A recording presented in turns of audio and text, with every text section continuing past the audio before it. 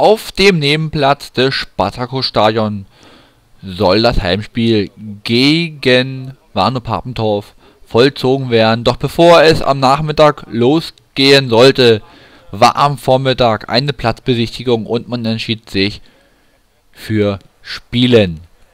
Und hier auch schon die Greifen beim Aufwärmen.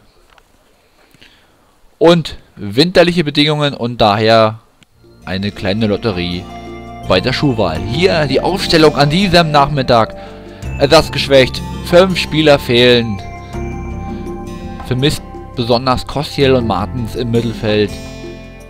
So mussten die Greifen ersatzgeschwächt diese Partie absolvieren. Aber man war gewillt, trotzdem diese drei Punkte einzufahren, um sich weiter fest im oberen Tabellendrittel zu beißen.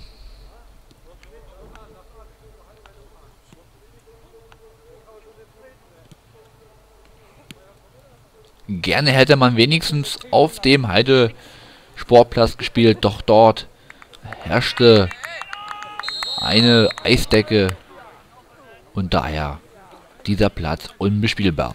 Und die erste Halbzeit läuft. Ein etwas ungewohntes Bild. Mit dem Schnee. Die Taugeler versuchten von Beginn an ein frühzeitiges Tor zu erzielen. Aber alle Angriffsversuche sollten zum Beginn scheitern. Hier ein Eckball, der Papendorfer. Aber dann Endstation bei Dreier. Rude zieht ab, aber trifft den Ball nicht optimal. Endstation Gästekeeper von Papendorf. Thiel spielt außen weiter. Versucht zu flanken. Etwas zu lang geraten. Und kein Torgelor kommt ans Leder. Papendorf mit einem Versuch. Und dieser Schuss konnte von der bis hierher sicheren Abwehr der Torgelor abgefangen werden. Die greifen im Ballbesitz. Und auch diese Möglichkeit blieb ungenutzt. Eckball. Und dann doch geklärt. Noch ein Eckball für die Gäste. Der aber nichts einbrachte. Ja, beide Mannschaften taten es schwer auf diesen schwer bespielbaren Boden.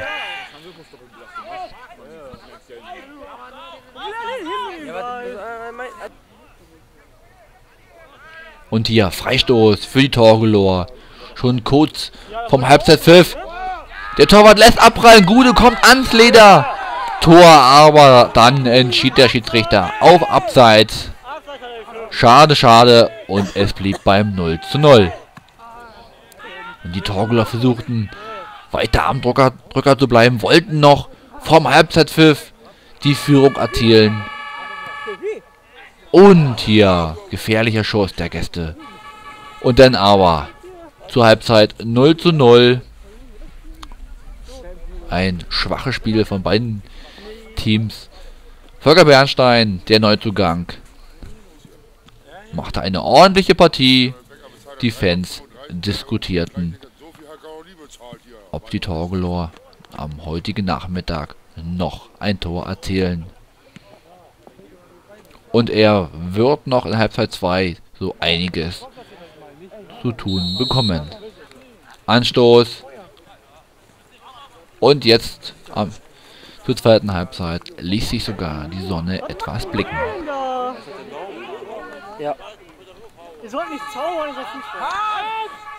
Die Papendorfer jetzt im zweiten Durchgang noch defensiver eingestellt und hier riesige Möglichkeit für Thiel, doch der verzieht kläglich.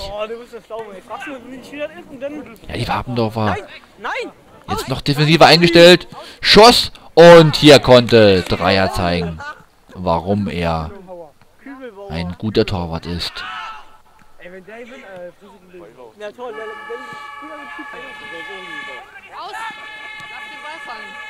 Oh, krass, gesehen? Alle haben, alle sind weggerutscht.